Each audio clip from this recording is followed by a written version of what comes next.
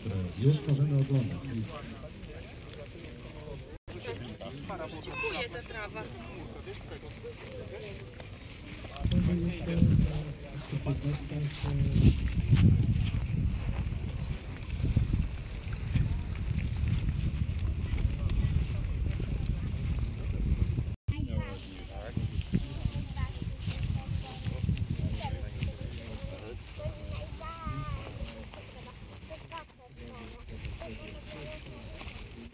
Thank